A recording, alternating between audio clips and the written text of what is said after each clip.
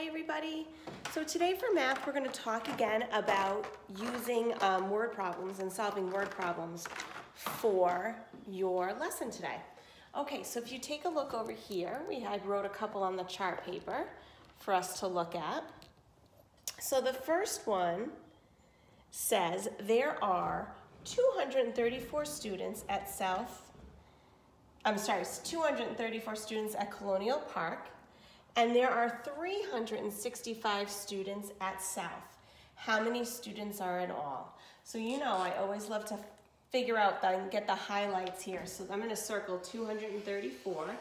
You can highlight it if you want on your Google Doc like I showed you yesterday. There are 365 students and we wanna know how many students are in all, okay? So when we think about this and we have to decide if we want to add or subtract, we want to think about what we know. We know that there are 234 students at one school. And we know that there are 365 students at another school. We need to find out how many in all. So we know both parts. So we're going to add 234 plus 365. Okay, so I'm gonna add my ones. Four plus five is nine.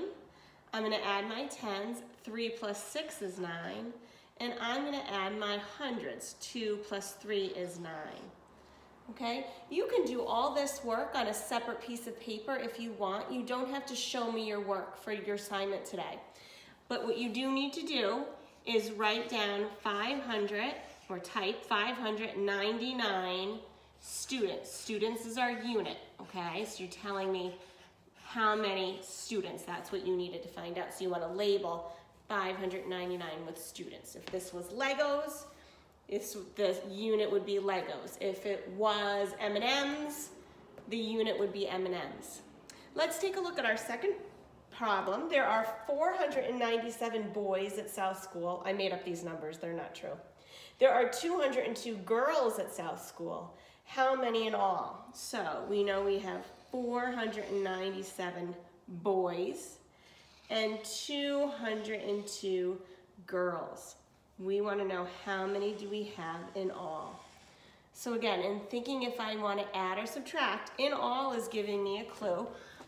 But you know Mrs. Brewin's a big fan of the diagram, so I'm going to write 497 which I know is one part, and 202, which is another part, and I'm looking for my whole.